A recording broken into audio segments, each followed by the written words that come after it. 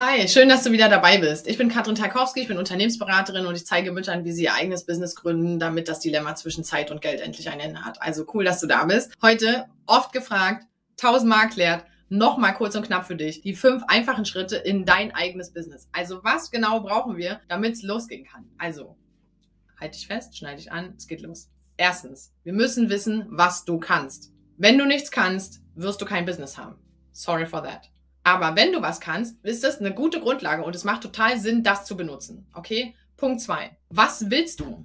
Also was genau willst du erreichen? Wie soll das aussehen? Wie soll euer Familienleben aussehen in den nächsten fünf Jahren? Was genau, wie ist die Lücke gemacht in deinem Leben, wo das Business reinpassen soll? Das beobachte ich immer wieder. Die meisten sind super schlampig, wenn es darum geht, diese Frage zu beantworten. Und was es fast unmöglich macht, ein Business deiner Träume zu bauen. Weil wenn du nicht weißt, was du träumst, was wollen wir bauen? Also was willst du? Drei, könnt ihr euch gerne, ich schreibe euch das in die Kommentare, äh, also in die Caption, dann könnt ihr die rauskopieren und mal darüber nachdenken und ein bisschen nachsinieren. Okay, weil wenn ihr das habt, dann seid ihr wirklich gewappnet. Punkt drei an dieser Stelle ist, für wen bist du nützlich? Also wem genau kannst du denn tatsächlich dienen mit deinen Fähigkeiten, mit dem, was du kannst? Wir müssen wissen, für wen das hilfreich ist. Die meisten können das sehr gut beantworten und scheuen sich so ein bisschen davor, dass es so leicht sein soll. Okay? Das ist irgendwie eine Herausforderung und immer wieder spannend zu sehen.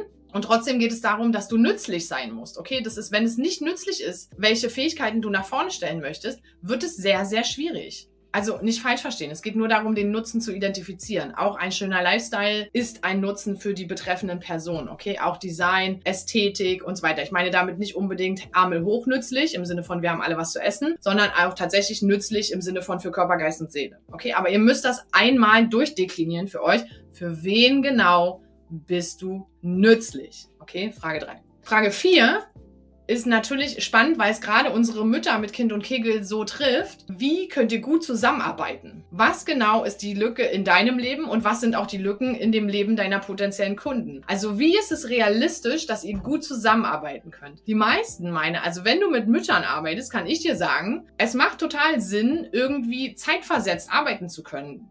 Wir nennen das asynchron. Das bedeutet, jeder kann arbeiten zu der Zeit, an der er am Start ist. Jeder kann dann arbeiten. Und dann trifft man sich regelmäßig, um einen wie so ein Check-in zu machen und einen Abgleich, wie die Prozesse laufen. Aber die meisten Mütter haben Probleme, so oder so Termine einzuhalten oder Termine regelmäßig zu realisieren. Das müsste dir einfach klar sein. Genauso ist es ein Unterschied, also nur um bei diesem Faktor Zeit zu bleiben, wenn du mit Menschen arbeitest, die im Berufsleben stehen.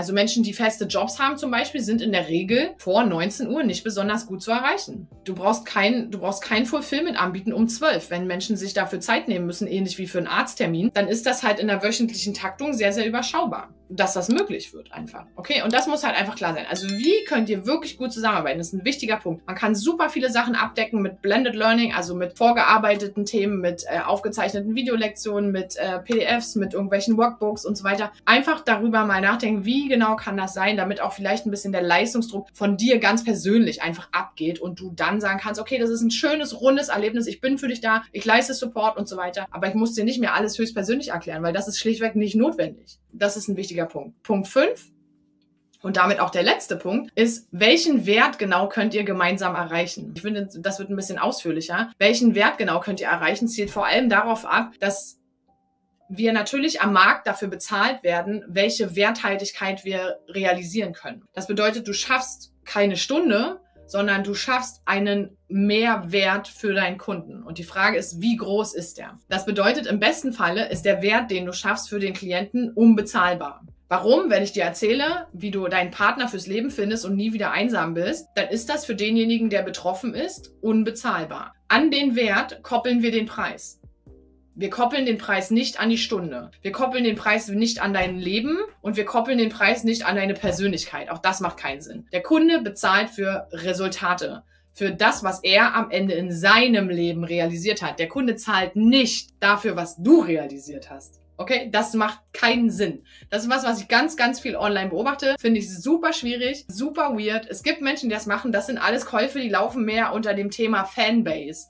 Was okay ist, aber dann sei dir halt im Klaren, dass du keinen Online-Kurs gekauft hast, sondern mehr so eine Art Merchandise-Produkt. Und das ist auch okay, aber dann nicht enttäuscht sein am Ende, wenn das, was du gekauft hast, nicht in deinem Leben stattfindet. Das ist ein wichtiger Punkt auseinanderzuhalten. Wir brauchen einen Wert, den du stiftest. Okay, einen Mehrwert. Wenn wir das nicht haben, super schwierig. So, das ist der Punkt. Fünf einfache Schritte. Und das, wir sind noch nicht bei Zielgruppe, wir sind nur dahingehend, was du mitbringst und was wir für Vorüberlegungen brauchen, damit du dein Business sofort starten kannst. Wichtig, deine eigene Idee. Ich meine damit kein Multilevel-Marketing, meine damit keine lustigen Nahrungsergänzungsmittel oder ähnliches. Ich meine damit deine eigene Business-Idee. Was genau ist das, was du gerne persönlich in diese Welt geben möchtest? Das kann eine Dienstleistung sein, das kann ein haptisches Produkt sein, das ist erstmal völlig gleich. Aber wir brauchen diese fünf Schritte, die wir wirklich en Detail beantworten. Wenn du Hilfe dazu brauchst, dann komm gerne Moms Business Club. Wir fangen mit neun Euro im Monat an, wo wir dir helfen, deinen ersten Kunden zu finden, damit du Vertrauen in dich und deine Business-Idee bekommst. Wir machen das Schritt für Schritt gemeinsam, sodass du Feedback bekommst bekommst und eben auch weißt, okay, jetzt